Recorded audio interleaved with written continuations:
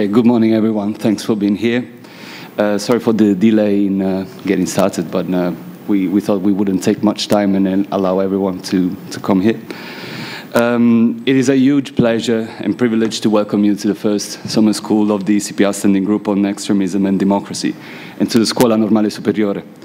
I shall start off by saying that um, unfortunately the Dean of the Department of Political and Social Sciences, Professor Della Porta, couldn't be with us this morning due to other commitments, but she will join us um, at the end of our sessions on Friday.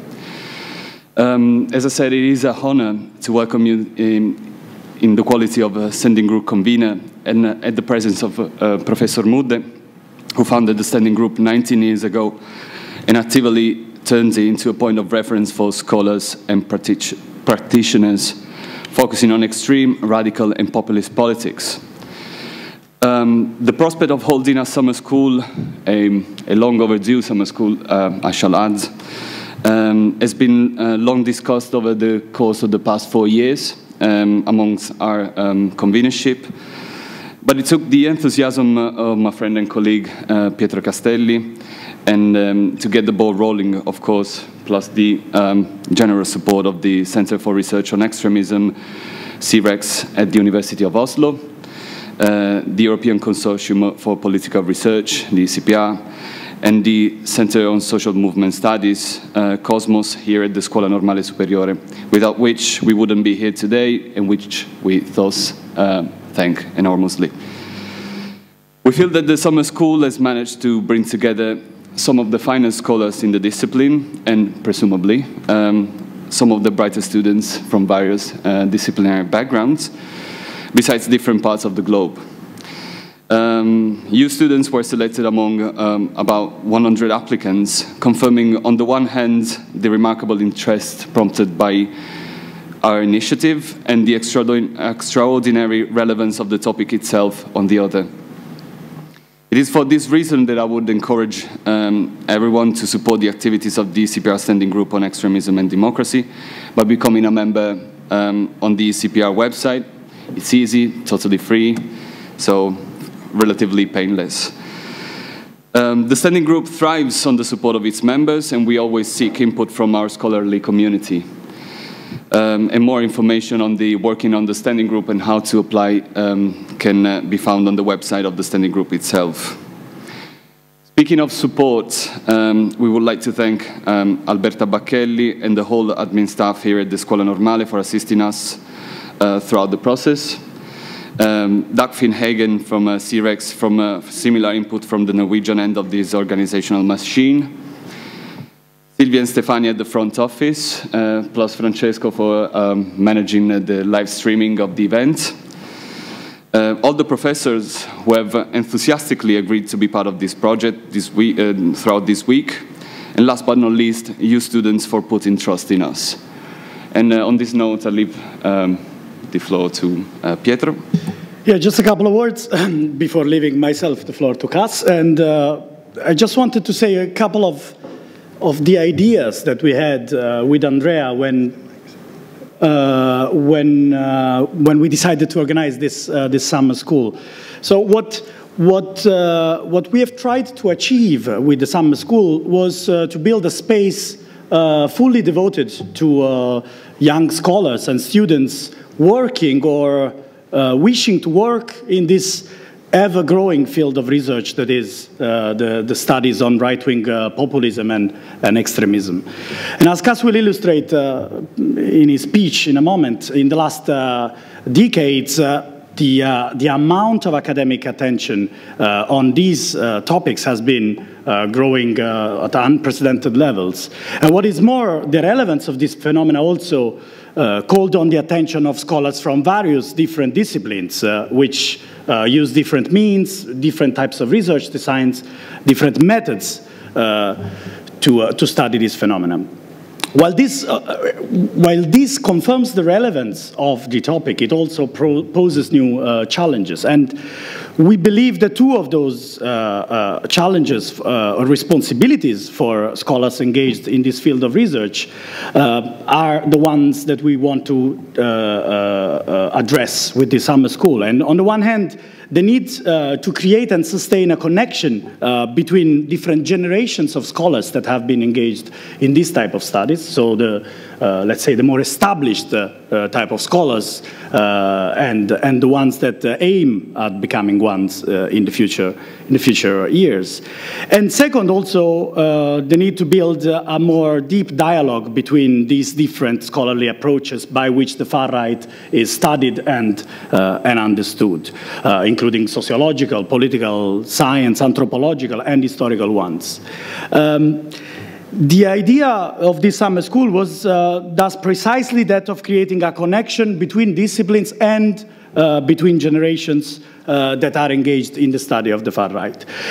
What we wish to uh, achieve at the end of the summer school is that the students that are participating in this are not only uh, familiarized with different methods and different, uh, and different literatures, but that, that they can also engage in uh, types of research that they were not uh, uh, accustomed to before, uh, and that they can try to address their research questions with methods and, and approaches coming from, from, different, from different disciplines. In this, in this sense, what we want to achieve is to try and make one step forward towards a more uh, pluralist understanding of research on the far right in its uh, populist, radical, and uh, extremist uh, manifestations. Uh, this is also why we couldn't think of anyone better than Cas to uh, kick off this, this summer school. Um, Cas needs no presentation. actually, he's one of the world's leading experts on populism, associate professor at the um, uh, School of Public and International Affairs of University of Georgia, and also a researcher at the Center for Research on Extremism at uh, the University of Oslo. And without further ado, I will actually leave you the floor for the first keynote of the summer school. Thank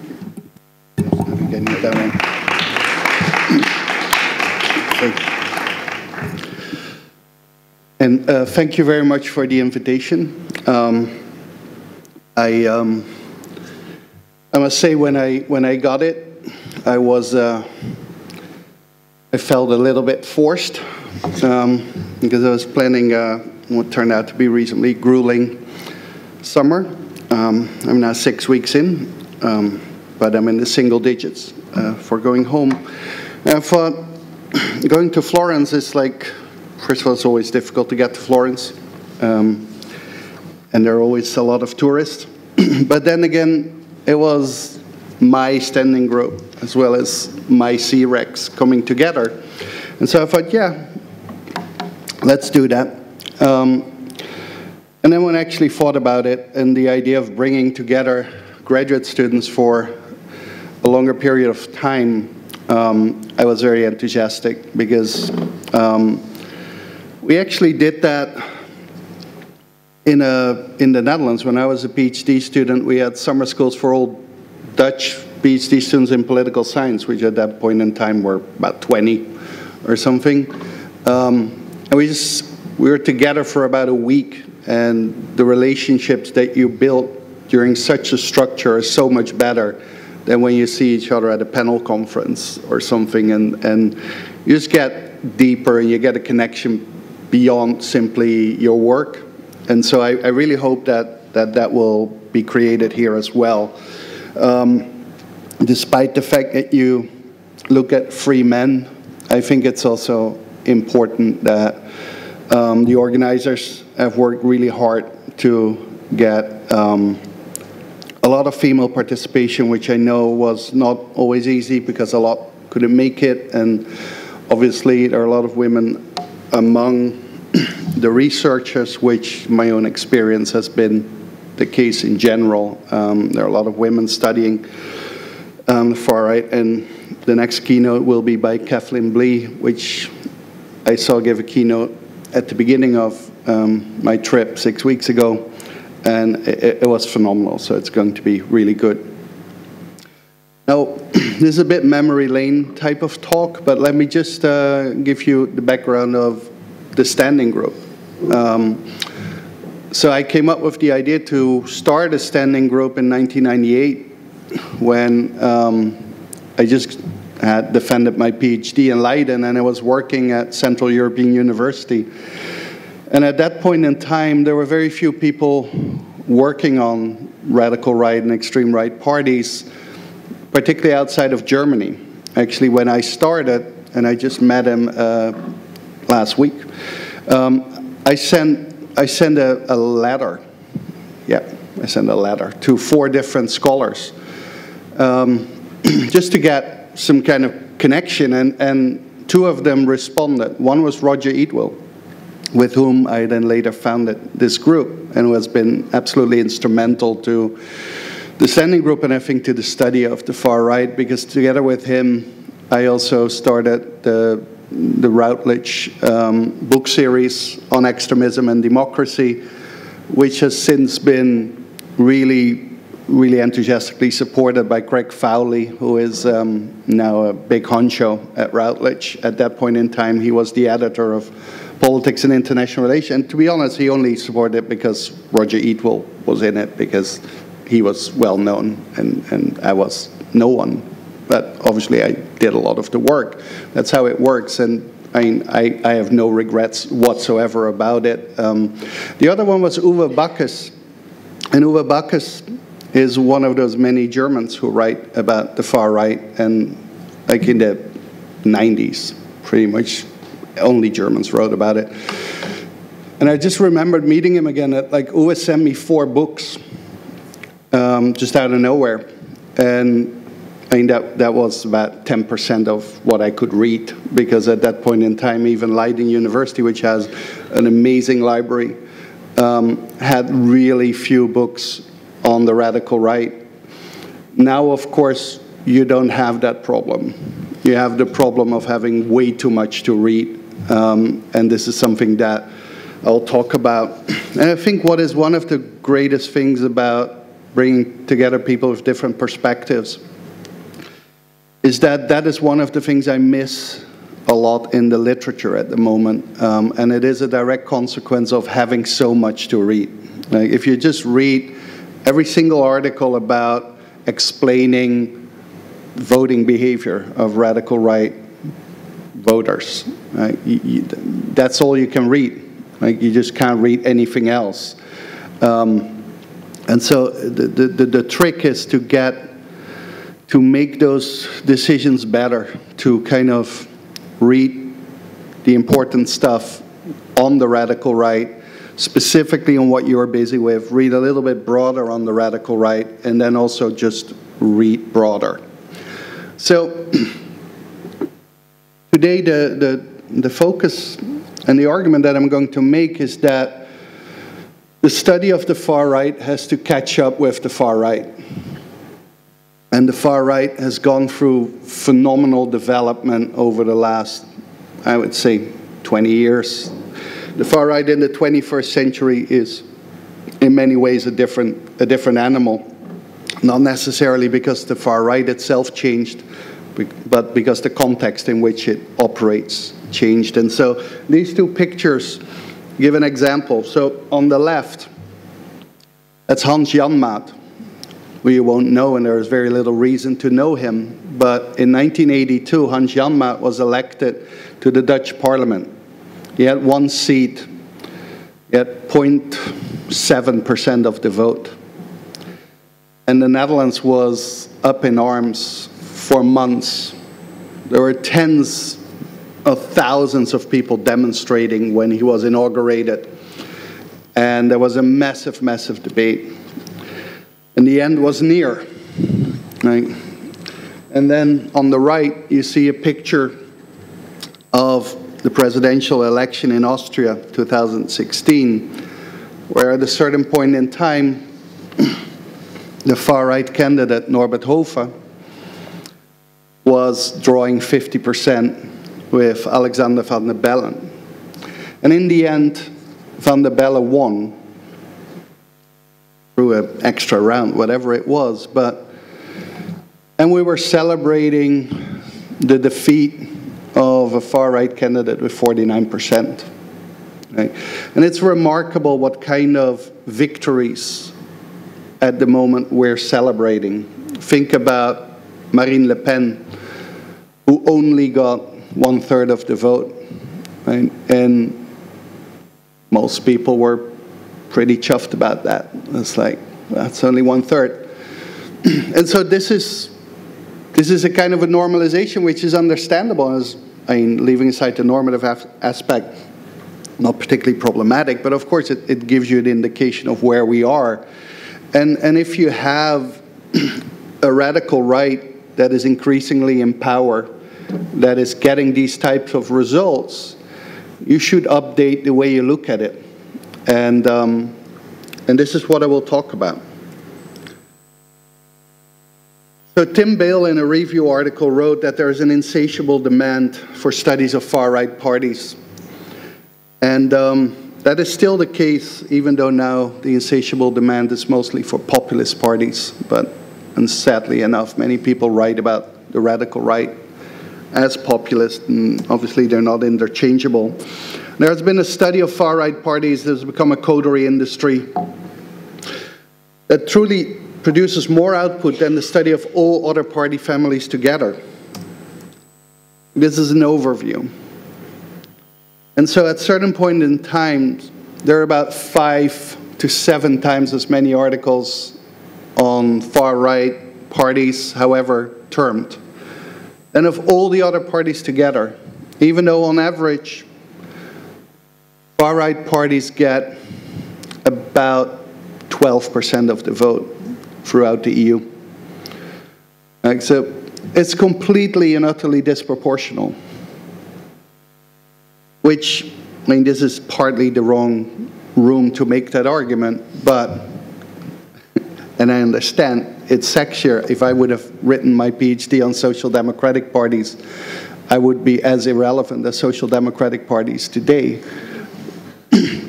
but it is important to keep things in perspective and, and um, to understand that while we might be more concerned about radical right parties, that isn't necessarily because they're more successful than other groups. I just saw a graph that actually showed that uh, of the last few crises, the radical right profited a lot, but conservative parties profited even more and there's virtually no one working on conservative parties. So, I mean, perspective is, is important. But what I talk about today is that the field has gone through several waves and more or less explicit paradigmatic shifts. Um, and I will argue that we should, we should have another one. So, up until 1980, what Klaus von Beyme called kind of the first two waves of post-war right-wing extremism, as he called it. there were very, very few studies. The studies were mostly historical. The key term was neo-fascism or neo-Nazism. And the main question was, what is the continuity with historical fascism? And so most of those studies, they often actually had, the bulk of the book was about historical fascism. And then there was a final chapter where they looked at what is there today. And if there were studies of purely the post-war phenomenon, then they were looking at like which people are in those parties that are still that, that used to be in the fascist movement or what kind of themes. It was to a certain extent completely decontextualized. Like it wasn't seen as something relevant to post-war politics. It was just a personal holdover from that period, which would die as soon as those people would die. It Was the focus on a few small parties, and particularly what Roger Griffin called groupuscule, like insanely small groups, sometimes really just three, four people. Um, the most important ones were the MSI, here in Italy, which of course for a very, very long time was exceptional. Um, the National Front in Britain and the NPD in German. The prime language was German, to a lesser extent French and English, but I mean, we're talking about seriously a handful of books. Um, in the 1980s, we saw a transition. 1980s, of course, saw the, the, the rise of what was the third wave of post-war far right in, in von Beyme's terminology. Um, political parties starting to emerge in more countries, modest, but nevertheless. The studies were now mostly descriptive. they were describing these different groups, when were they founded, and electoral results, kind of who's the leader. And the main term now became extreme right, which was still very much a term in line of fascism studies. Almost all of the definitions of extreme right were some form of a modernized version of the fascism discussions and National Socialism, but they have weeded out some of the issues that were specific to the 1930s, 20s. Um, but the theoretical framework was still very much one of fascism studies. and the key question now was what is old and what is new about the extreme right? And so it was not purely seen as a phenomenon that was a holdover of the fascist period, but it was still primarily seen through that lens.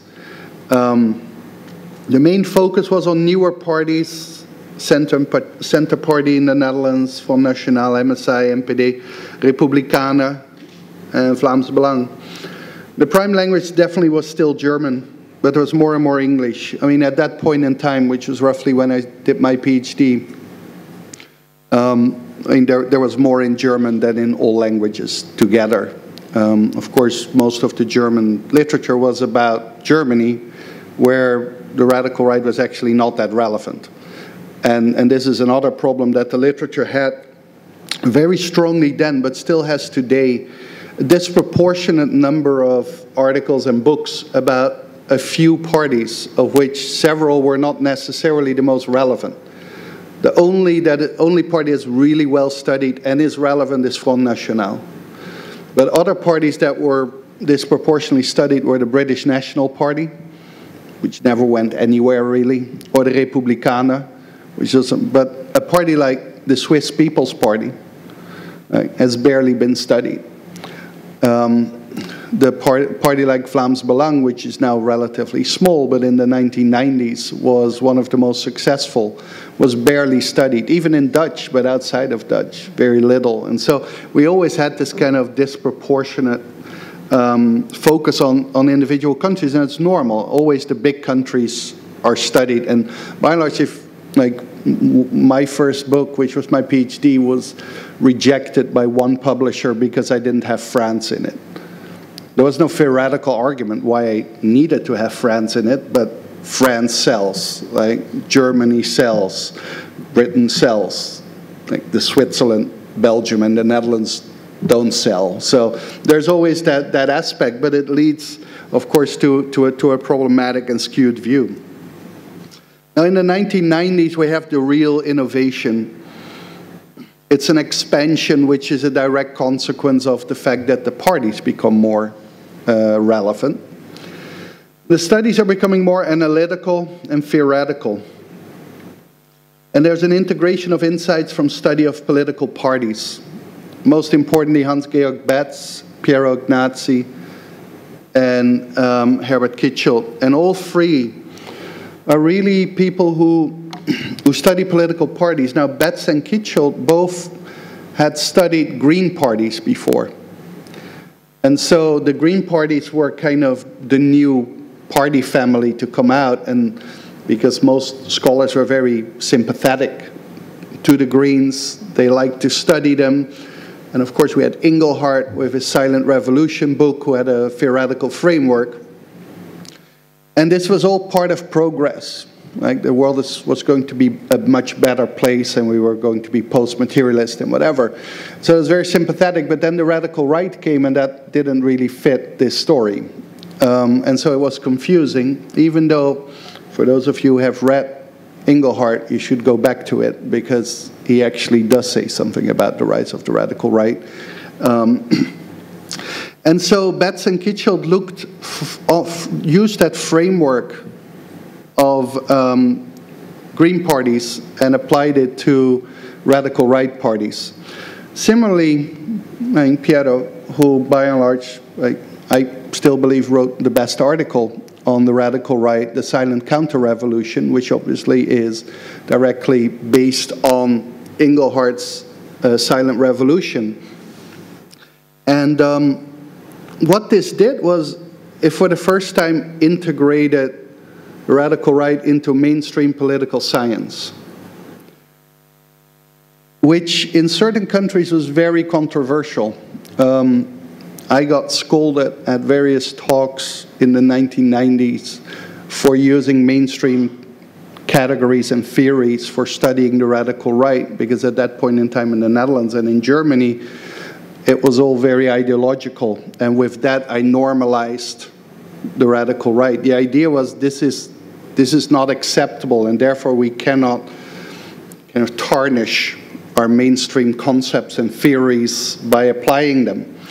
Um, and so I think it's interesting that it came through these people um, to a certain extent from context where the radical right was more normal. I mean, Piero, of course, from Italy, and both Betz and Kitschelt, while being German, they worked in the US. Um, and so they, they had a more scientific, kind of neutral view on it. The term also became radical right increasingly or right wing radicalism. And the key question was what explains the demand for radical right parties? And this was implicitly or explicitly the normal pathology thesis um, of Klingemann and Scheuch, which I mean, very few people read, but I mean, some of the Germans did.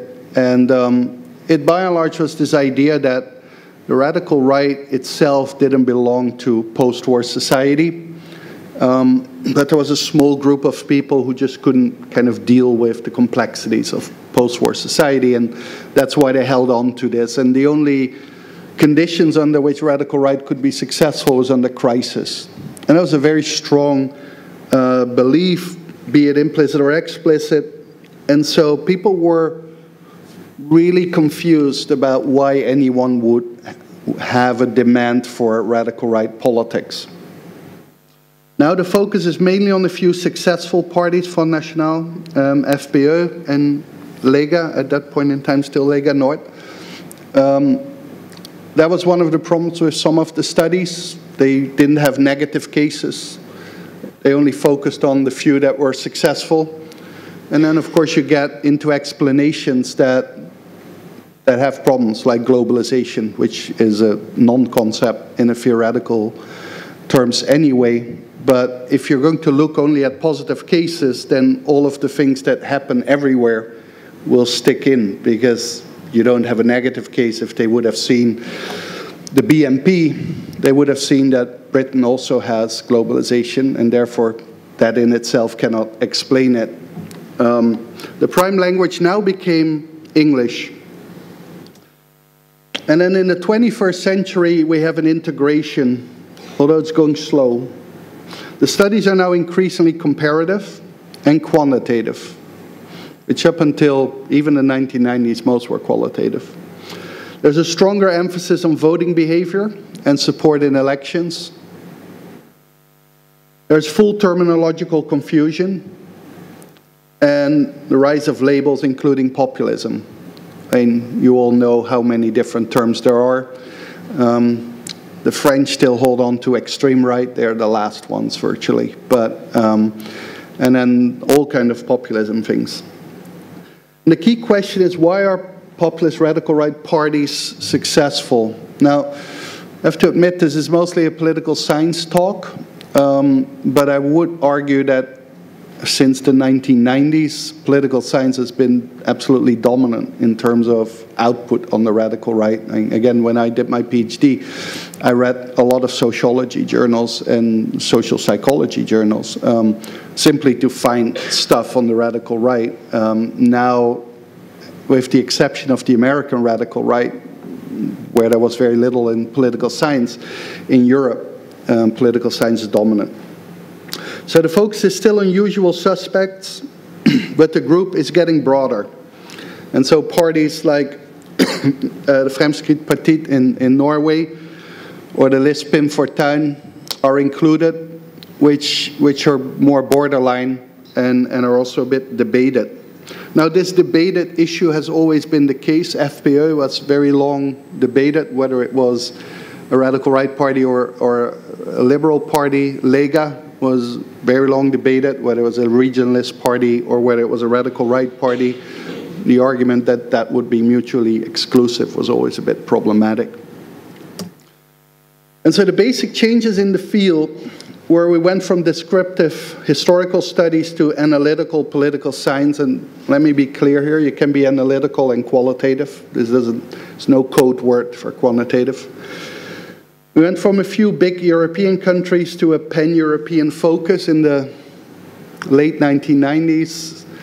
Central and Eastern Europe was included, although it's still very, very little work being done on that. Um, from politicized labeling to academic, if confused, conceptualization. Um, at the beginning, it was all neo fascism. That was not only an analytical choice, uh, it was also to link these parties to historical fascism and make clear that they were out of bounds. I think we're, we're already out of the, the kind of terminology hype. Um, I would say the late 90s, early 21st century, everyone needed to have their own term. Don't get me wrong, I've used more than enough terms myself. Um, and, and there's, like, there is something to be said for conceptualization, and we're going to talk about that. Um, but much of the terminology was not really followed by actual conceptualization.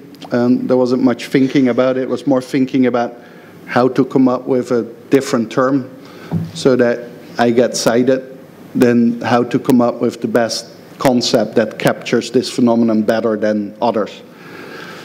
We went from books at non-academic publishers to mainstream publishers and journals.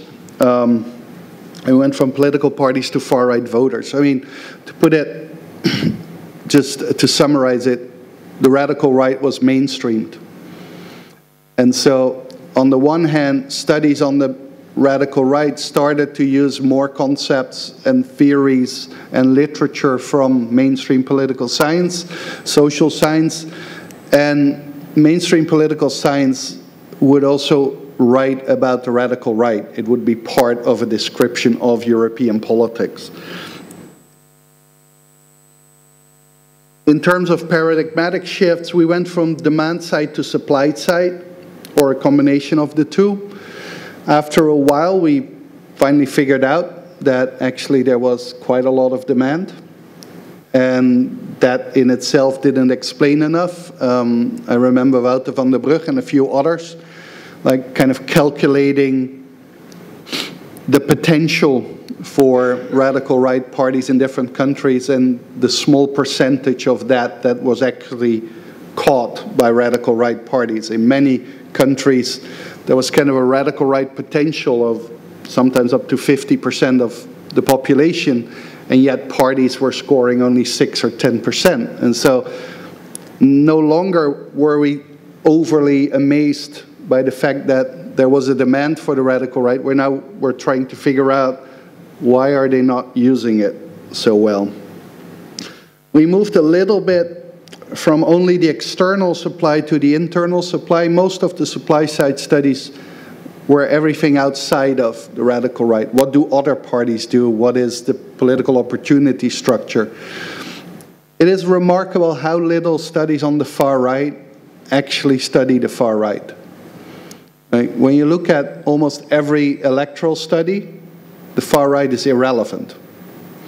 The parties are perceived to be exactly the same. It doesn't matter whether they are led by a charismatic leader or a monkey. Right? As, so, as soon as they come up, they will do certain things. Right? Um, it was very rare to have interviews with leaders, people going to meetings. Um, not much better, but a, a little bit better. Um, and to be honest, I always felt that I could almost like see on the basis of reading, a, particularly a book, whether someone had actually ever met a radical right person or not. Um, it's very interesting, and if you haven't done it yet, you, you, should go to a meeting. I was just two weeks ago, I was at a Vlaams Belang meeting in Ghent. Um, I hadn't been in a long, long time. I was pretty surprised. I thought there were bigger crisis than, than that. They pulled off a pretty good show, but one of the things that you will see, because I went first to meetings of Dutch parties and then to meetings of the Flemish, and it directly made sense why one was more successful than the other. I mean, the Dutch couldn't pull off a meeting of 100 people. It was a mess. And then I went to Antwerp, and there were, I don't know how many thousand people in, in that room and it was this show of two hours of smooth like lectures and videos and whatever. And like that explains in part why a party is successful because you need you need to be able to organize stuff right? And so i think that we need to take into account what radical right parties do. We have to look at leadership beyond the reasonably simplistic charismatic leadership like leadership within the party. How is a party governed? Like the example that I use in my book, for example, is like Jean-Marie Le Pen, which gets all the attention, but Bruno Mégret, who was the second man, was at least as important because he built the whole organization. Um, we need to understand the propaganda much better. Um, prop propaganda of Front National has been amazing, has been incredibly innovative. Um, we all know pretty much the poster of the SVP with the white sheep kicking out the black sheep. Sure, it's the most racist poster you can find. It's also by far, like I think, the best poster ever made because it says creating security. But even if you don't understand German, if you see that picture, you know exactly what it's all about. Right? And so that has an effect. Good propaganda has an effect, maybe not as much as some of the media makes it out to be, but we have to understand what the, what the radical right does itself. It's also become a bit more from just a dependent variable and independent variable. Rather than explaining why the radical right is successful, we now try to explain what their effect is. Um, it's still not that big. It should be because the radical right is getting into more governments and they're clearly setting the political agenda. And so I think that type of study is important. And I think that an argument I've been making is that radical right, populist radical right, is more a pathological normalcy than a normal pathology. With what I mean that radical right is really a radicalization of mainstream values. Um, I think that's getting uh, more and more accepted, and I was just a few days ago, someone challenged me on that and said, like, do you think that's still the case? Of course, meaning like, are they still a radicalization of mainstream values? Just think about Kurz and Strache. Like, how much, how much space is there between the two? A lot less, right? And so what is important is that, yes, the radical right is changing, but the mainstream is changing too. And to a certain extent, we should study both because the radical right has changed the mainstream, but the mainstream is changing the radical right in very different ways. Like in certain ways, by moderating. Like Strache had a very soft campaign, for example, with arguing that Kurz was kind of too moderate, but not that he was corrupt or bad, because he knew that they were going to govern. And so you have a moderating effect. But in Hungary, it went even totally extreme. Fidesz, by and large, became as extreme as Jobbik. And because Jobbik no longer had any space on the far right, they just moderated. And by and large, they exchanged positions. So in the last campaign, last elections a few months ago, like, Jobbik campaigned as kind of the mainstream right party and Fidesz as the radical right party. Right? those, those are interesting things, and, and putting the radical right in, in, in context, I think, is important. I think we need a new paradigmatic shift. Most importantly, we have to move beyond the new challenger paradigm. Like we still treat the radical right as new parties, and most of them are not. Like uh, the interesting thing, for example, the coverage of the Italian coalition. Like first of all, obviously not the first populist coalition in, in Europe or Italy, um, but also like there is this, still this assumption that oh, what is Lega going to do? Can they can they govern? Yes, they can. They've been in government more than virtually any other party at the moment. Like, and so we think we look at the far right and we, we see AFD, like new party, unstable, whatever. But FPÖ is one of the oldest parties. SVP is one of the oldest parties. Lega is one of the oldest parties. Like even Sweden Democrats has never been in power. Right? It's various decades long. Most parties have survived their founder leader. Um, and so we have to look at them different. it's also important that several have governing experience. Um, and so this idea that when you take a radical right party into government, they will blow up because they're incompetent and etc. etc. And people always point to the FPÖ, which split, and the LPF, like Lijst Pim Fortuyn in the Netherlands. Now, Lijst Pim Fortuyn was, what, three months old by the time they went into government, and its leader was killed. Actually, the members of parliament of LPF had never met each other before seeing themselves, each other in the parliament. Not that surprising that that party will implode. It has nothing to do with ideology. Whatever ideology, they would implode. FPÖ did implode and are now back as strong as they were before in the government. Right? So it's, it's very clear that these kind of simplistic views don't actually hold. The, sim, the same thing is this idea, well, if they're in government, they will moderate.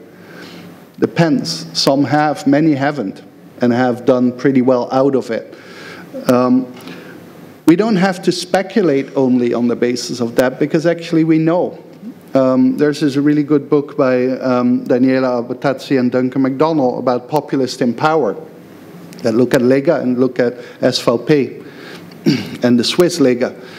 And leaving aside that it, that it shows like the stability of it, it actually very interestingly also shows how realistic the activists of the party are who are actually very happy with what those parties in power do. They don't have ridiculous expectations. They know that they have to compromise. And all those things that go against pretty much the, the cliche type of understanding that we have about those parties. And, and again, I think a lot of these things we can study now. They're also neither new nor niche in an empirical or theoretical sense. I'm not a big fan of the whole niche concept. Um, but the idea of a niche party, the way it is, it is um, operationalized and defined, is parties that don't primarily campaign on socio-economic issues. Over the last 10 years, many campaigns, perhaps most campaigns in Western Europe, have been predominantly about social cultural issues. Like, so this whole concept of mainstream politics is about socio-economic issues and niche politics is about social-cultural just doesn't hold up anymore. Now, of course, they're also not niche in terms of having only a small basis and a small support. In many countries, radical right parties are third biggest party, if not bigger. Um, and so these are, these are concepts that might still have relevance in certain countries, but overall should be problematized. In fact, the whole distinction, the whole term of mainstream parties is highly problematic these days. Like mainstream parties are really liberal democratic parties, but what mainstream refers to is either ideological mainstream or kind of what the big parties are in both terms, the radical right in many countries is mainstream. Um, so we have to update. And I think in most aspects, parties like FPÖ, Front National, definitely SVP, they're much more like established political parties. One of the things that is very interesting, and I'm now doing a, a project on youth branches of radical right parties together with Duncan and Ann-Katrien Junge, uh, Anders Jupskas. Um, and the reason why we did it was we saw more and more leaders of radical right parties that come out of the youth party, which again is exactly what is the case in other political parties. That is the way that you socialize your people. the best example is Tom van Grieken, who is the leader of the Vlaams Belang and was elected leader of Vlaams Belang uh, well when he was the leader of Vlaams Belang Jongeren, of the youth group. Um, and so many radical right politicians are professional politicians. They haven't done anything else, just like most politicians are professional politicians. And so I think to understand these parties better, particularly the more successful ones, we, we really have to think about just how do other parties function? What is the role of socialization um, and other things? Now, obviously you already all have your topics, so you can ignore this. But I think there's an enormous amount of things to do on the radical right, but unfortunately, much of what I see being done are things that have been done over and over. Um, I'm very skeptical, and my apologies for the people here that write their PhD on it, but I'm very skeptical of any study that is about why are radical right parties successful in Western Europe. Um, I've read at least 100 pieces on that. I seriously doubt you have better data than these people. Um, and there's only so much you can say about it. Now, I do understand, and don't get me wrong, because uh, yes, I'm an old person who, who is very much complaining about like what all these new kids are doing. And to be honest, I'm actually complaining a lot about what the old kids are doing too. That's not the point. I understand perfectly the political economy of, of academia, which is terrible and which pretty much incentivizes very narrow work and makes more risky and therefore more interesting work uh, very problematic.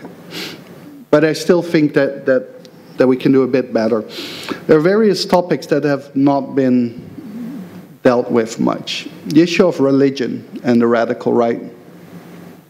There's this book by Olivier Roy, Duncan McDonnell, and um, forgot the other one, which is a little bit about Islamophobia, but also what the consequences of that are. Like logically, if you define the other primarily in ethno-religious terms, you're going to define the us in ethno-religious terms too. Like there has to be some kind of relationship between us and them. You see that. FPÖ comes out of an anti-clerical tradition. Now they have become kind of the voice of one of the most orthodox Catholic Islamophobes, right? Um, even Geert Wilders, who you know, no one is as Islamophobic as Geert Wilders, is, is a single issue politician. He initially was kind of anti Christian in the sense that he believed that having specific Christian schools, as the Dutch have, which are subsidized, was a problem because through that rule you could have Muslim schools.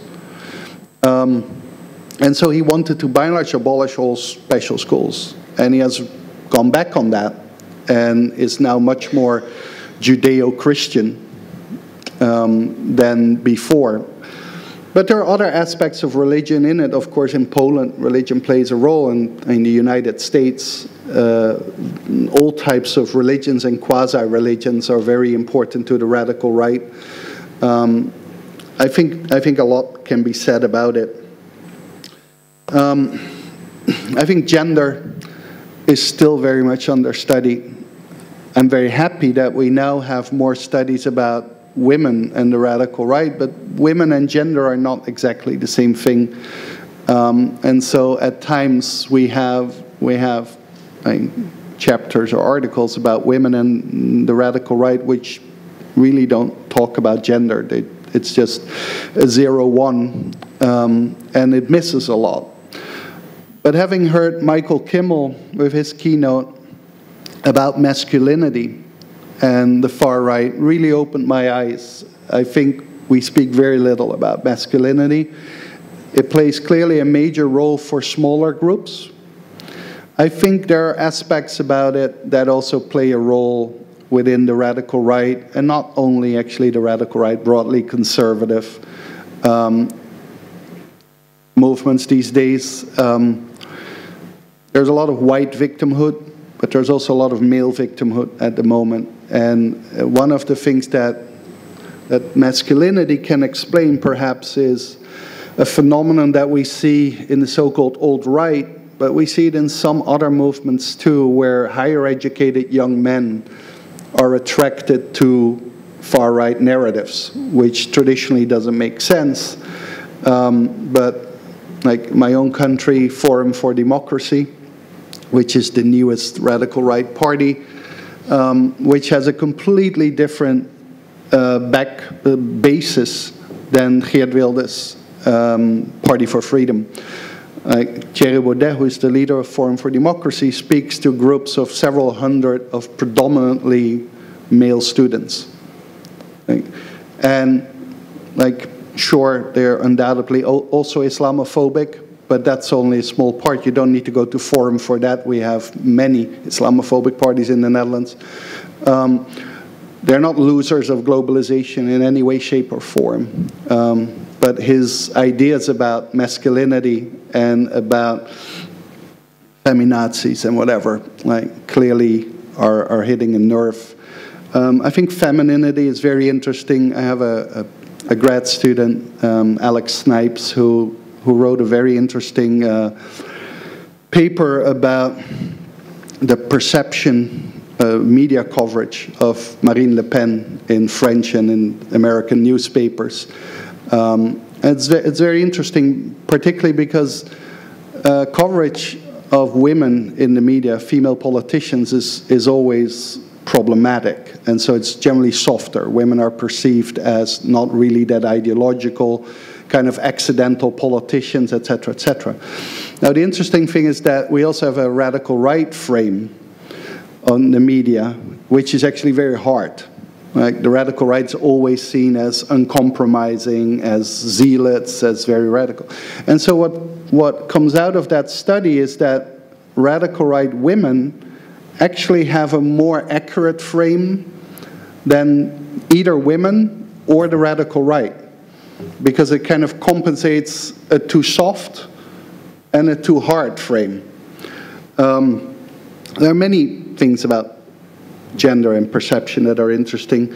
Um, we still don't fully know why there are so few women among the electorates. Um, do female leaders have an effect on the gender gap? All of these things, I think, can be studied better. We know very little about youth, which is for the, to certain non-political scientists, but like sociologists. Um, we know that most people are socialized politically in their late teens. And pretty much the attitudes that you have in your early 20s are the ones that you keep. Yet we start to study people at 18 most of the time. Right? The same with radical right groups. Most people join or get in the orbit of these kind of groups before 21, before 18, really. Right? And we don't study them really at that point in time. Um, we don't see how they're socialized. We don't have panel studies of kids following them from 12 to 21. That requires resources, I get that, but I think it's important to look at youth and there are all kind of IRB problems and and then of course there's the beautiful picture of the SVP I was talking about, propaganda. We still know very little about it. We actually know very little about who created what, how they, how they come from one group to the other. This sheep poster was used by at least five or six other parties. Right?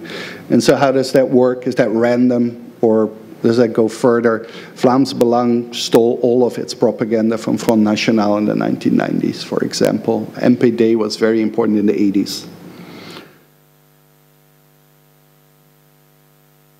I think um, probably, particularly for political scientists, and people studying parties and, and, and voters, I think we should focus much more on the diversity within the far-right party family.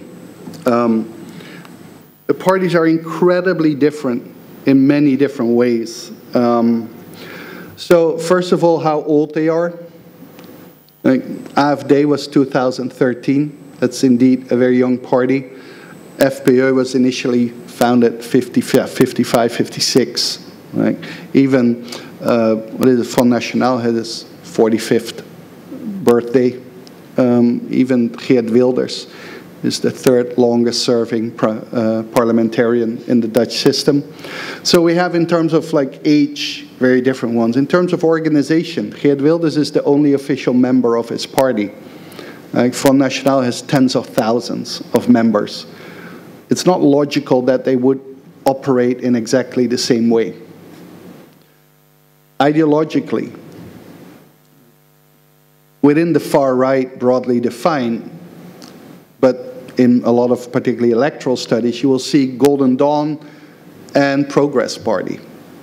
Right? Now, I'm sure that we all agree that we live, that we would much rather live in a Progress Party country than in a Golden Dawn country. And that we're not going to say, well, it doesn't really matter that much whether we, we're governed by right-wing populists or neo-Nazis. Like, so it's a very broad group. um, I think we should think more about the idea of functional equivalence. And functional equivalence is a term that is used in the party literature to talk about Christian Democrats and conservative parties. And so the argument is that in most party systems, you only have, you either have a Christian Democratic Party or a conservative party. You rarely ever have both. But they, they perform the same function within the political system. They are the opposite pole of the center-left party, of the Social Democrats. And so while they have somewhat different ideologies, within the party system, they perform a similar function. So functional equivalence is always contextual. So Golden Dawn and Progress Party could be seen within the electoral arena as functional equivalents, as the parties most to the right that feed off anti-establishment sentiments and anti-immigration sentiment. On an ideological level, they're not functional equivalents. In terms of organizational structure, right, Party for Freedom and Front National are not functional equivalents. Ideologically, they are. So that's what I mean with theoretically developing functional equivalents too. One of the problems that we have is categorization of which parties are in, which parties are out. And one of the things that people often solve that because you don't want to do that yourself because it's a lot of work is you look at other articles and say, well, they kind of use it. But they use it for different purposes. And so I have much less problems of including the Progress Party into a study of electoral support than into a study of ideological equivalence. And so in that sense, I think it is important to look at for your specific question. Right? what are the what are the parties that are identical and which are functionally equivalent. and finally, I think it's important that we truly integrate the study of far-right parties into the mainstream study of political science, notably electoral behavior and political parties. And I come back to what I kind of started with. Like, how do you best read? Now, I believe that my 2007 book, which was way more successful than I had anticipated. Um, I actually thought no one would ever use the term populist radical right. Um, I think one of the reasons why it, why it has had the impact that it has had is because it, in, it, it includes a lot of insights from other literature, mainstream literature on electoral behavior, mainstream literature on political parties. I mean, it's not that I'm so brilliant. I, mean, I read brilliant people. And I thank my supervisor for that, Peter Mair, who actually, when I started my PhD with him, and I'd written my MA about it, and I was fairly obsessive. I had read roughly everything about the far right I could find. He actually barred me from reading about the far right for half a year and said, you have to read other stuff. Um, and later, I, I, I, by and large have kept doing that. And so I always had this rule that at least once a week I had to read an article that had nothing to do with my PhD. Um, and I think this is really, really important. It's important to go to talks about other stuff that you just think, oh, but that's not relevant to your PhD. That's probably going to be more relevant to it because it makes you think differently about things. If you only read the literature exactly on what you do, you stay within that box. And the way to stand out is either be brilliant, and very few of us are brilliant, or to have better data, and very few of us have better data.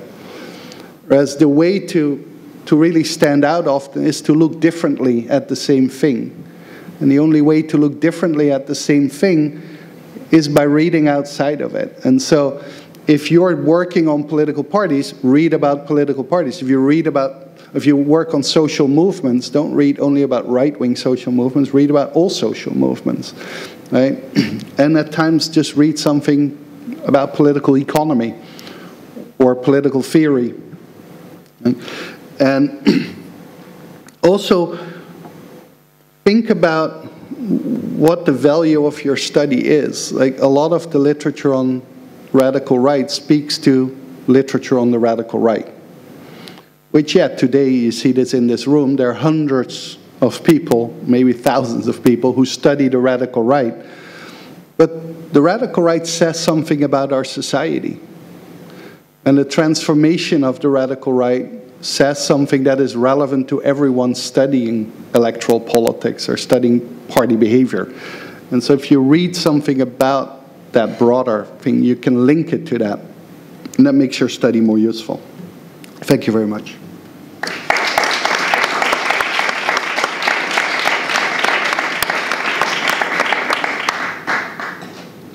Thanks very much, Cas. Uh, I suggest then, uh, yeah, we open the floor for a round of uh, Q&A. Don't be shy, so whoever wants to go first, please raise your hands.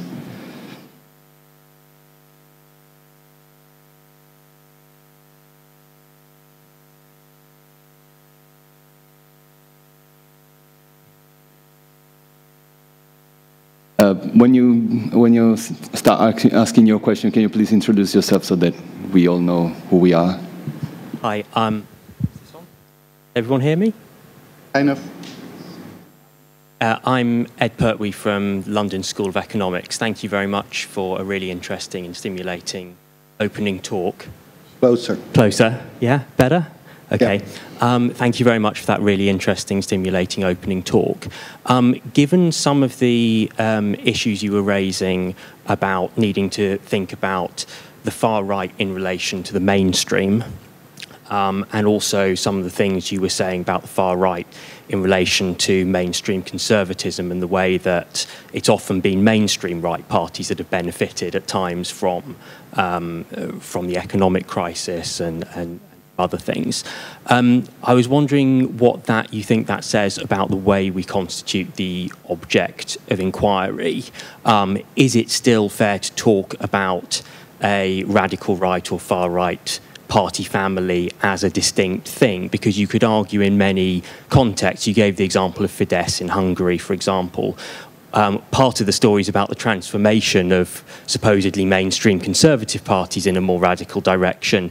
You could also argue in a UK context that many of the important parts of the story around the radical right, quote unquote, are what's going on within the Conservative Party. And presumably, you could also say something similar in a US context where a lot of the interesting transformations have been internal to the Republican Party.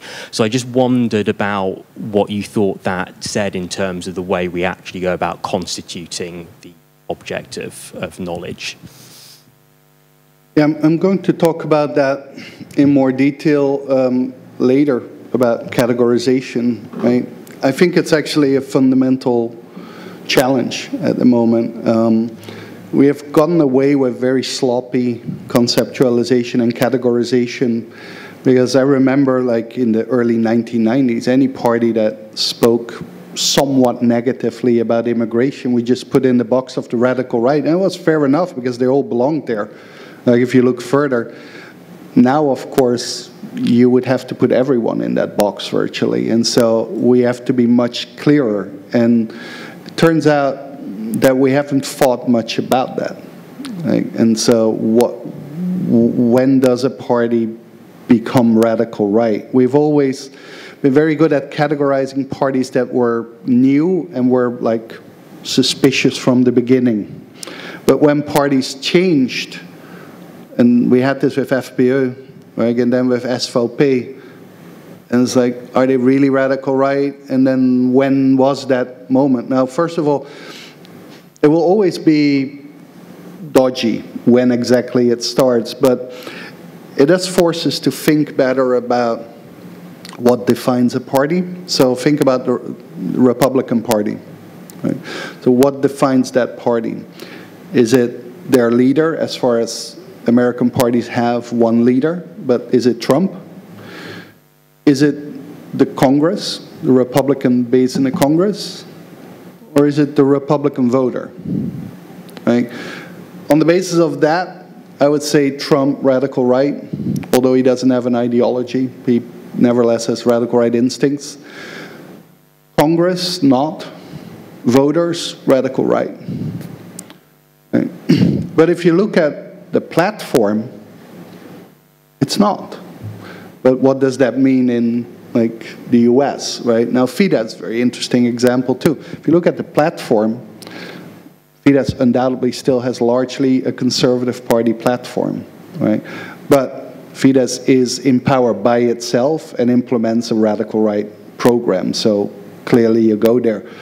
Um, I'm very reluctant to, to reclassify long existing parties on the basis of one campaign. So the Tories are a good example of that. I think the Tories are still fairly messy internally. I don't rule it out that they go to the radical right, but at the moment I see them all over the place. Um, the Republicans are a little bit the same. Uh, Likud in Israel is another example, which has very strong radical right faction, where Netanyahu is clearly uh, pandering to and, and, listening to, but whether the whole party has moved. But I, I also can't objectively say like this is that or what is important is that you argue why right and so my approach to ideologies has always been not so much counting words um, but looking at what is the what is the structure of the argument what informs what and so you can actually say very nativist things without being nativist um, if you for the rest have uh, an ideology that, that accepts multi-ethnicity and those kind of things. But during a certain campaign, you just go full out, right? But if you do it for a very long time, then at a certain point in time, like it doesn't matter whether your program is still saying all the conservative stuff. If you by and large govern and speak in a predominantly radical right voice um, you are that. I think it is important, though, that I don't, I don't use radical right as in a relative term. Again, so at the moment, because I do a lot of public writing too, I get a lot of pushback. It's like, how, how can this be radical because everyone believes this, right? That it's radical because it goes against liberal democracy. Right? And so I have no problem if the terminology that I've been using would mean that half of the parties are radical right. Well, I have a problem, but as a citizen, not as an academic, right? That's possible. Um, at the same time, we also have to think about terms. Like, I mean, I think it's important that academic terms relate to public debates, which is why I'm very hesitant to come up with a new term that would be academically a better term for the sake of argument, it would be better to say populist, authoritarian, nativist rather than populist radical right. But who's going to use that? Like, and, and how, how can I relate to a, a public debate about it?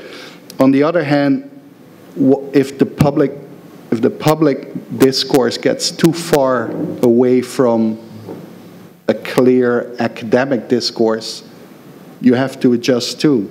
But what it speaks to is exactly the point I hope to make. I think we're at the moment in what is a fourth wave of the radical right, and in the fourth wave, we have a mainstreaming of the radical right, which has all kind of different things, including conservative parties becoming radical right, radical right parties being coalitionsfähig in most countries, right, and radical right politics being taking place well outside of radical right parties. And, and this, is, this is really testing us because a lot of the theories, for example, are like, well, they're anti immigration, that's why people vote for them. And so are a lot of other parties. So why would they still vote for them? So that's why I think we really need to look back and, and think like, okay, so this made sense in the 1990s, but today, does this still hold? Thanks. Uh, is there any? My name is Paulus Wagner. I'm a PhD student in Paris at Sciences Po.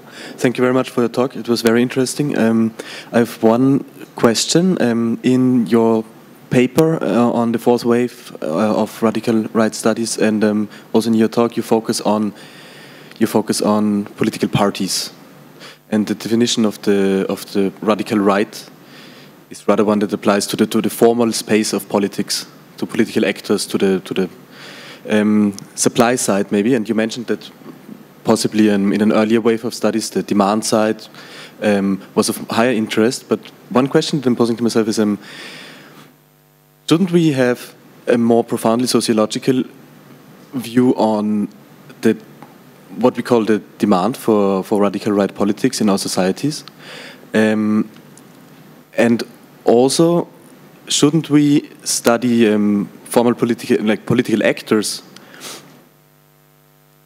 in the context of the ensemble of, of things that they, they make part of, you know, not meaning the, the political actions or their, their ability to, to mobilize. So I'm, I, I know that this is probably because of um, applied political science has for its aim to, to supply side. But um, I think that our studies of the demand should go beyond what is the classic, and this is a um, correlative study based on survey data and only looking at a single point of time at a single year. So, you have a thought about this? Thank you. I mean, this is the big frustration of anyone who tries to do that type of research. Yes, we should, but can we? I, I mean, the biggest problem of quantitative political science is data. And we generally start to generate data by the time that something becomes relevant. Right? We only have good data on populist attitudes from the moment that populism became big. So we don't know whether, at, at the supply side level to a certain extent, so we actually don't know whether there was already a demand for it 10 years earlier, because we, don't, we didn't ask. And on top of that, we don't have panel data on virtually anything. And so, yes, we should do it, but I'm a bit skeptical about doing stuff that might sound interesting when you don't have the data for it. Because what you're then going to do is you're going to find proxies. Right? So rather than actually have a good operationalization, you just look at what question comes closest right? And that covers at best a very tiny part of it. So one of the things in populism, it's anti-establishment attitudes, which yes is part of populism, but it's only a part of it. And you can you can trace anti-establishment sentiments over decades, but call it anti-establishment sentiments and don't say, well, this is a proxy of populism, because it, it isn't, and it it claims much more than you actually do. Um, and so the other thing is, yes, we should study stuff in their context. I mean, I think another problem is that much of comparative politics is actually not comparative. I mean, most electoral studies are not comparative. They just pull the data of various different countries, and the national context is completely taken out. Comparative politics means that you compare different things, not that you pull different things.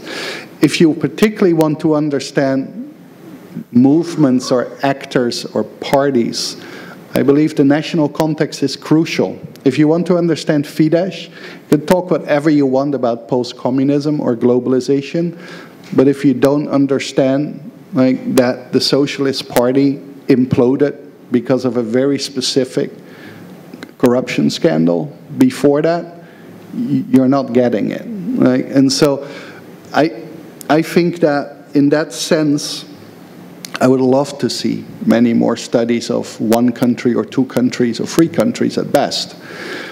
At the same time, I have tenure. Like my career is made, and I can do all that kind of stuff. Um, I'm even like still in the last month of editing a journal, which is a pretty prestigious journal, which has as a rule that we don't publish single country studies, um, only in exceptional cases where you can make a convincing theoretical argument why that case speaks to broader cases. Um, I think we can go back and forth on that, but the political economy of, of academia today is that if you make that phenomenal study that truly explains why something happened in one country or even two countries, you're going to end up in a second or third tier journal. And the person who's going to use proxies to do a much worse job on the basis of 24 countries is going to be in the top journal. Right? And, and so that's how it is, right? I mean, I teach my graduate students at UGA by and large telling them, don't do what I do because you won't have a career.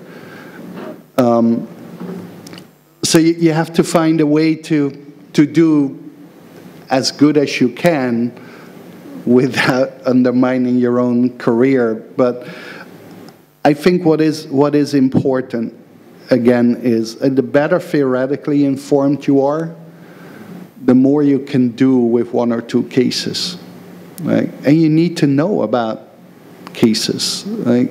If you're going to make your argument that this plays out broader, you can state that which I often see like with manuscripts submitted to EJPR. And it's like, yeah, I don't think so. Like, you make no point why that would be the case. I can make five why it isn't the case.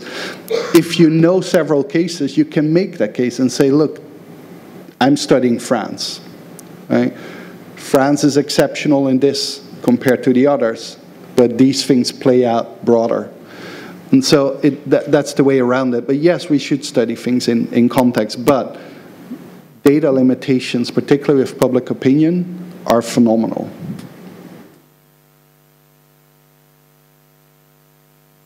Uh, Leonie de Jonge from the University of Cambridge. Um, you mentioned that unlike with other party families, like the Greens, for instance, there are no openly sympathetic scholars to the far right. And that is or very few, and that is problematic for various reasons. So I wanted to ask you what you think the role of academics are more generally in the study of the far right. Well, to be clear, I thought it was very problematic that there were mostly pro-Greens writing about the Greens. And I think one of the reasons why much of the scholarship on Green parties was problematic in the early phase was that these were activists writing who did a great job at describing the history and, and, and, the, and the ideas, but they had a hard time coming to terms with the fact that Greens are actually not very successful. Right? And so, at the same time, many radical right have, or original stu studies have a hard time with understanding why the radical right is successful. Um, because the bias comes in. You don't need to be neutral, and you can be. I just don't believe in neutral science. I think it is important that you're aware of your bias and that it doesn't significantly affect your scholarship. I mean, I'm very outspoken and very clearly anti-radical right. Um, I don't lie about that. Most of the radical right people I meet know that. and even earlier, they kind of knew that. I do think that most of my studies are not negatively informed by that. And in part, is like even if you are studying the radical right because you're upset about it and, and worried about it, right? You can only defeat it if you understand it well. And to understand it well, you have to have as little bias as possible, right? And so it, it's even self-defeating to write from a purely ideological point of anti-radical right point of view because it will make your study less good, which means it will make the response less good. There are few, there are very, very few right-wing people studying the radical right.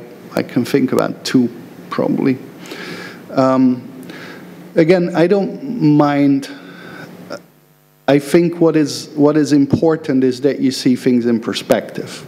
Right? And, and one of the things, particularly if you talk, I mean, at, at times just think about, okay, so if I would study this phenomenon, be it voters or parties or mobilization, from a left-wing perspective, would I do the same? Right? If I'm talking, so my, my first book, my PhD, was about party families. Right? And while everyone always called me a scholar of the radical right. I actually thought I was a scholar of parties.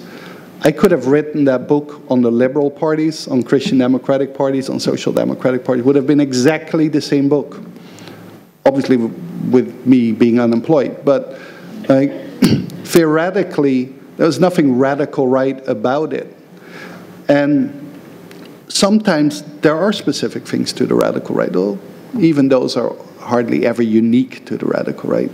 But I think that it's important to check your bias, right? I mean, you have to be aware of, of it, and you can openly state it, or even if you are aware of it, I think it, it will come through in, in, in the study. There is this myth in US political science that we can be neutral. Um, neutral mostly means that we that we abide by the status quo. And the status quo is ideologically definitely not neutral. So I think rather than trying to fight that and become utopian and like floating above the world, um, you, you do a much better job by just thinking, okay, so like, where do I stand? Is this influencing me? Do I ask this question because it's the radical right? And I assume it does this and that? Or do I ask this question because they're political parties and this is what we think political parties do?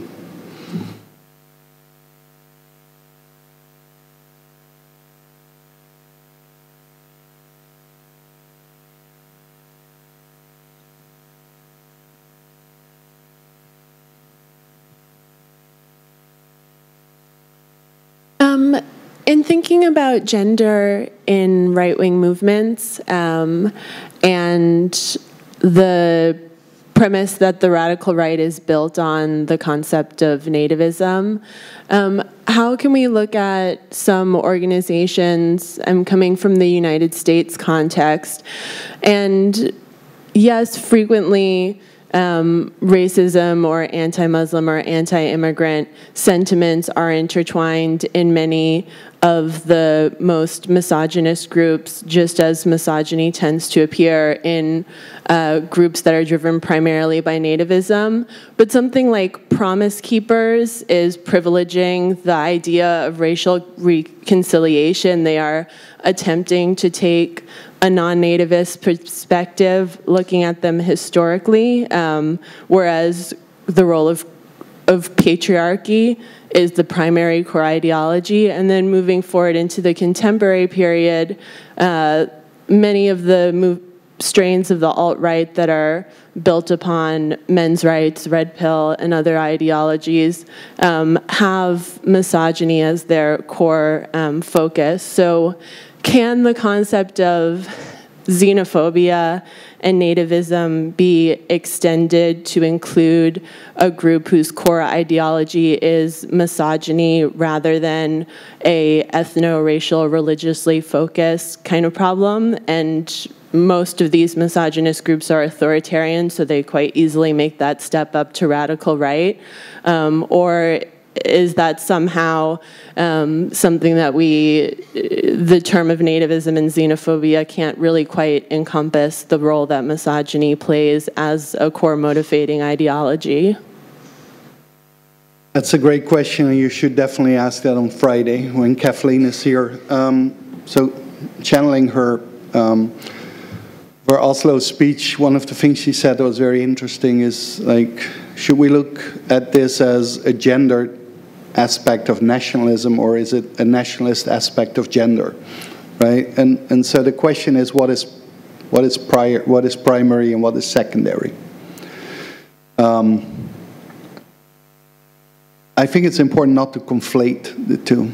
I think there's a fair chance that almost all nativist, all nativism um, is misogynist for the simple reason that almost all nativism finds its expression within misogynist societies and cultures.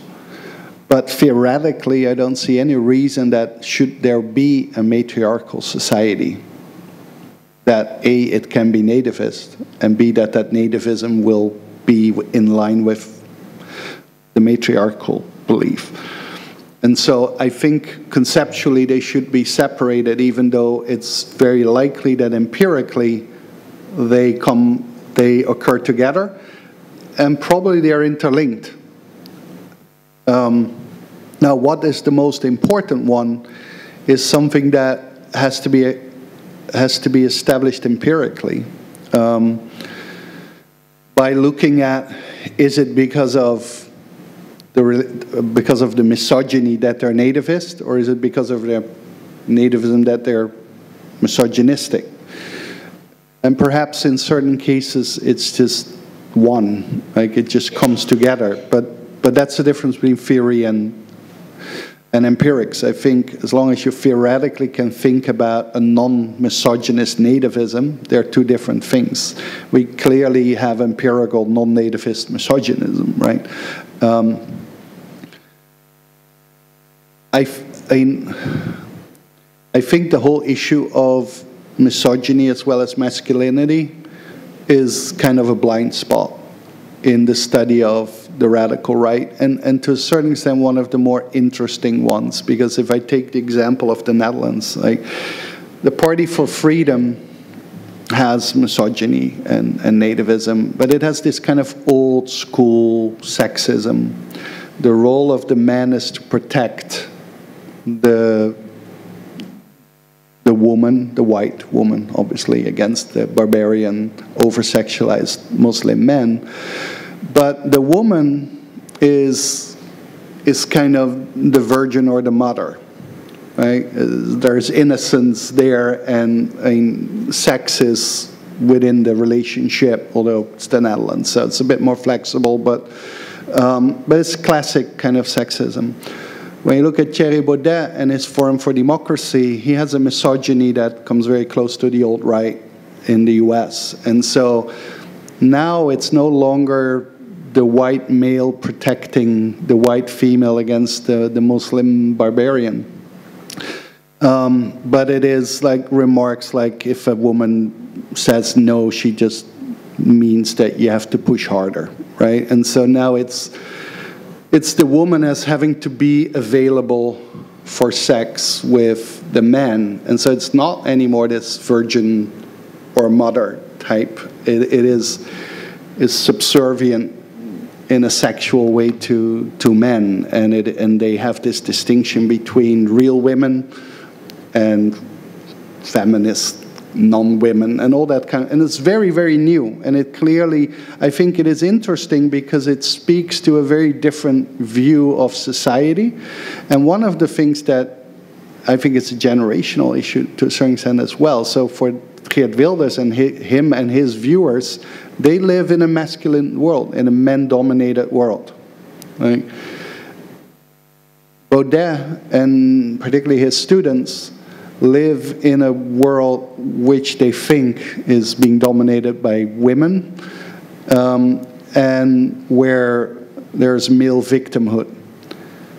And while that might sound bizarre, I think it's nevertheless very telling of how they perceive the world. And so, is it the main driver? I don't know. Like Michael Kimmel just published this book on uh, masculinity and, uh, and the far right, actually, also a bit on jihadism. It's a fantastic book. Um, and he argues that it's primarily about masculinity and identity is more important than ideology. I'm very skeptical about it, but I definitely think that masculinity also plays a significant role. Is there something specific about radical right masculinity compared to conservative masculinity? Not even that sure. I, I think that much of what Forum for Democracy says out loud is very popular within non-nativist conservatives. Um, but again, I think it is, it is very important to study, and both from a nativist perspective view as from a pure like misogynism point of view.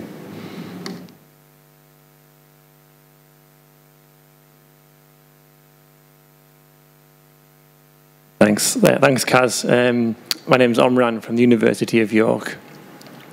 Um, you mentioned that research on the radical right has become quite normalized, and there are hundreds and hundreds of studies now looking at uh, uh, the attitudes of potential voters, and also studies suggesting the ideal strategy for radical right parties. And I was wondering whether there's been any, if there's any evidence of radical right parties taking this academic work and actually adapting their own policy as a result of it, and whether you see any problems of that of that happening. It's, it's kind of difficult because obviously no political party is very open about how they make their policies. What you do see is that if, if academics consider a certain party not radical right, which is more broadly seen as radical right, that sometimes this will be mentioned by leaders and say, look, according to that scholar, we're not radical right. Um, I've not come across it that much. To be honest, I don't necessarily speak that much with radical right leaders. Um, there are a few that clearly read the stuff, and I know like Vlaams Belang used to read most of what I read, and what I wrote. Whether they actually did anything with it, I don't know. It was a question that was asked when I was doing my PhD, which was in that context when everything was very politicized. And my answer was always the same. Like, I mean, the radical right can use it, and the opponents of the radical right can use it. Like, and if it's true that the radical right uses more successfully, then the opponents of radical right have not done their job well. Like, I don't think it should be a concern, uh, not for academic work. I think if your academic, if your question is academically relevant like, and, and advances knowledge, then the way that knowledge is translated into politics is something that you can play a role in. I mean, you can translate it to the people that you support and say, look, from this we know this and that, right? But I don't think you should not publish something because you're worried that the radical right will use it. Because first of all, you don't know. Like I describe one Dutch party as anti-Semitic and the other one as not. And so you would think like, well, the one that is anti-Semitic is going to be upset. And they weren't. They were very happy and they will say, look, you can see we're actually the real ones. Right? Those other ones are just softies. Um, so you, you don't know what is being used. Um, I think it's also totally fair to, to do political advocacy with your own work, right? And just don't expect too much out of it. Like, I mean, I'm doing this tour for six weeks now. I don't know how many people I've talked to and politicians and journalists and whatever. I have no illusion that I've changed any minds. The best what you can do is provide an empirical basis for people who have sympathy for your position so that they can, they can defend that position better. but don't think that you're going into a room with like politicians and you say, well, my study found this, and they say, oh, okay, we should do that then. Like, doesn't work.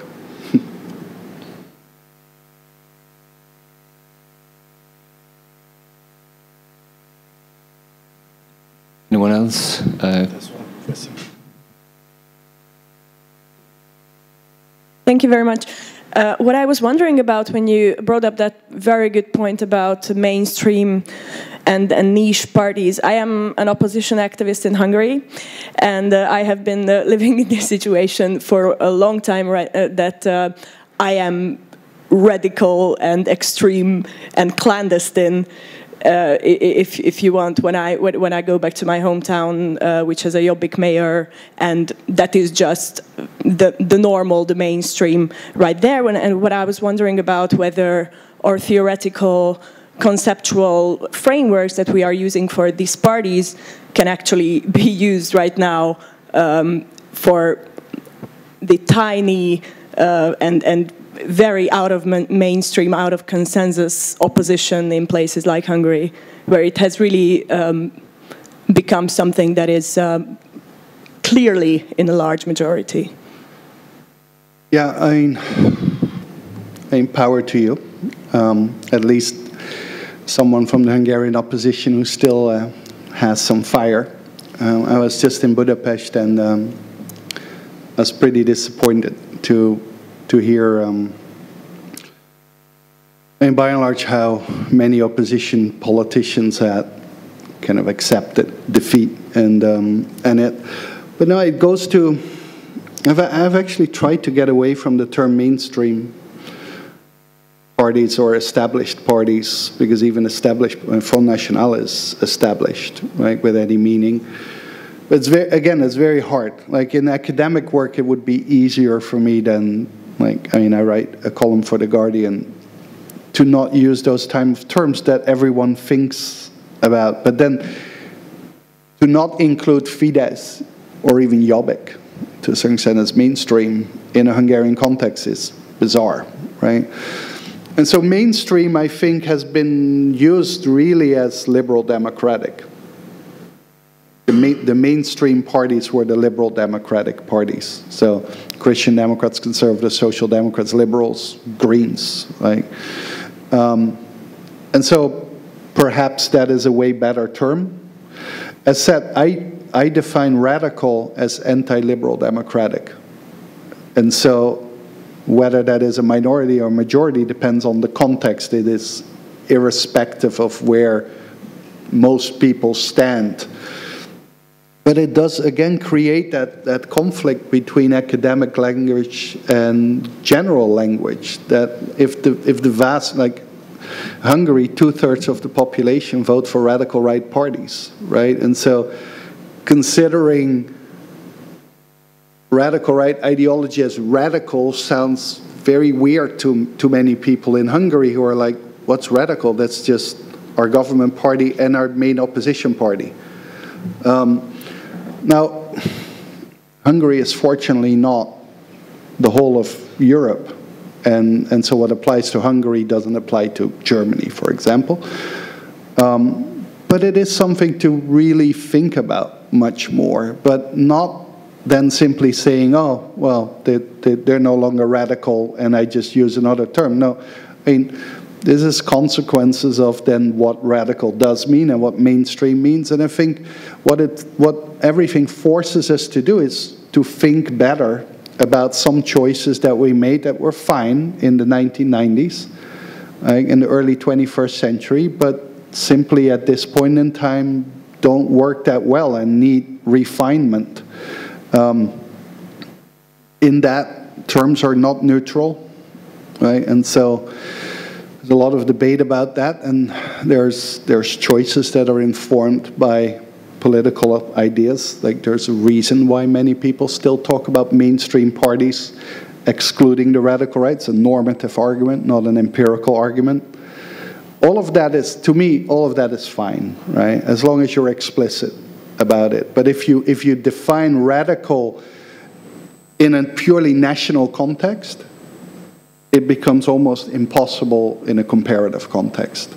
So if radical, if radical are the parties that are against the mainstream, then th then that is fine. But then if you are comparing radical parties across different countries, then don't assume that they actually have an ideological core.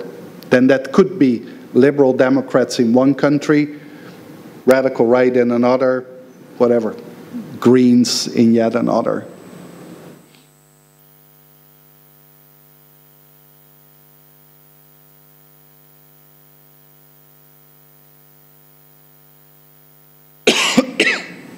Um, I'm Hans Noel from uh, Georgetown University, um, and I have a question. There's sort of two themes in your talk that I want to turn around and ask a, a, question about. The first theme is, you know, this is the latest wave in our understanding of um, right-wing populism and and where we want to go in, the, in that pushing that field forward. And then the second theme is that there's lots of other disciplines and other subfields within political science that will have useful things to say to help push that forward.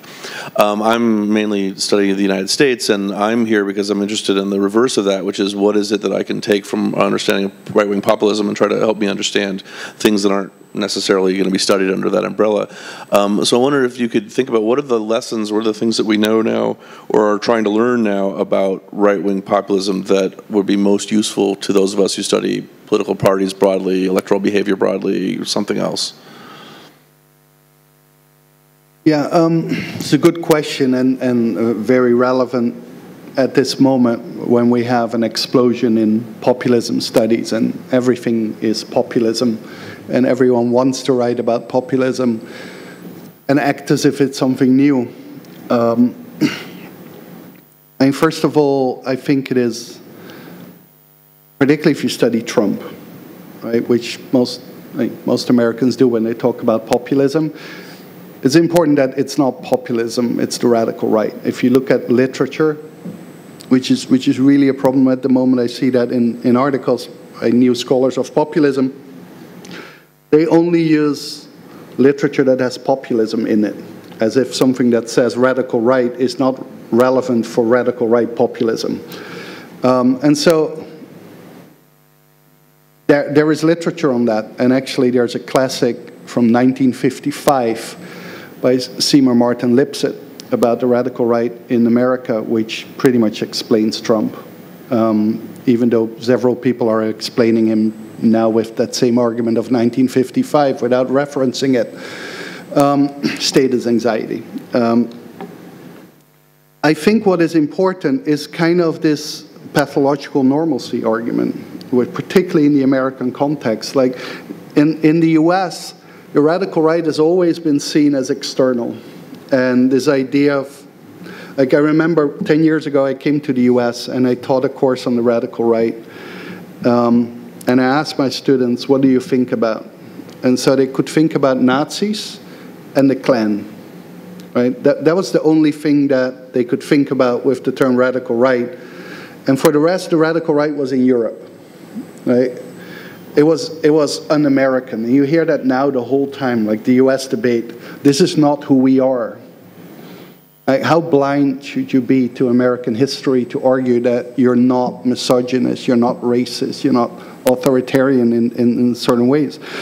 Um, and so I think what the populism literature can show, although there's not that much specifically on the US, is how it relates to the mainstream and, and why there are not specific reasons why the US is different outside of a party system, electoral system thing. Um, in, I think that, and I've been doing quite a lot of reading about the US lately myself, and the US has a lot of literature on populism, but it's, it's, very, uh, it's very narrow. And so I think one of the big, big problems that we will have in studying where does Trump come from is this massive vacuum of decades in which we didn't study populist radical right because it didn't have a party political voice. Right? And so we have a little bit of, of work on the Southern strategy, very, very little even.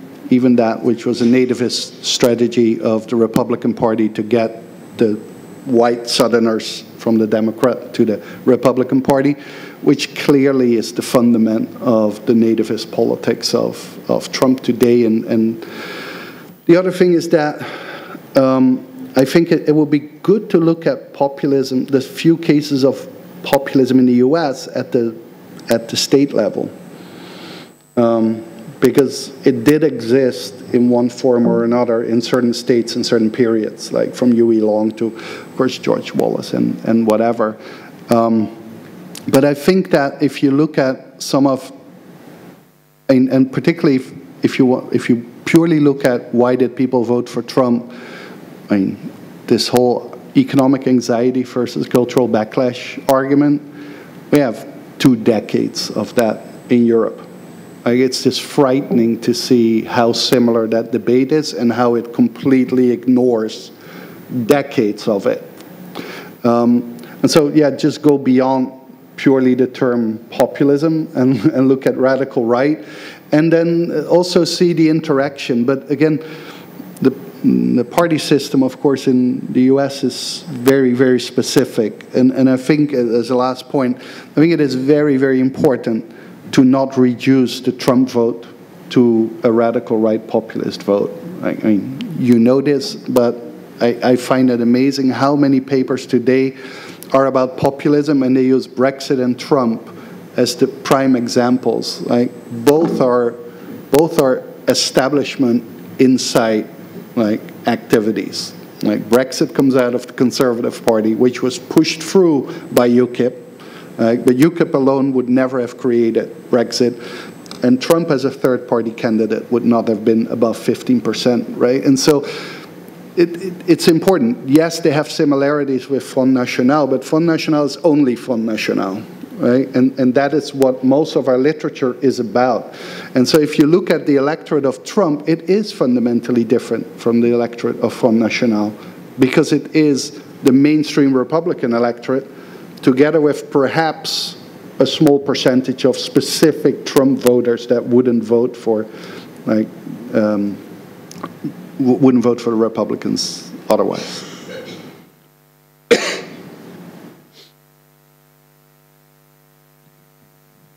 Other questions? Uh, if not, uh, we only have to thank Cas for this uh, presentation, for this discussion.